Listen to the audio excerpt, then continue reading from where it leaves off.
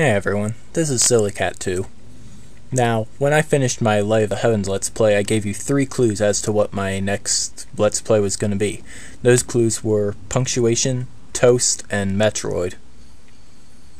So, let's see what those clues actually mean.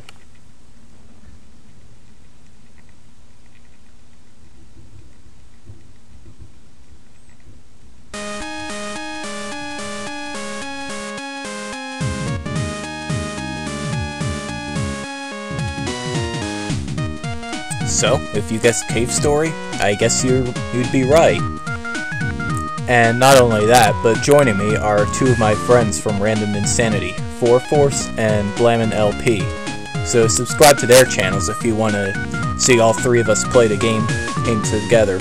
We'll be racing to complete the easy path and then the hard path and possibly the bonus level as well.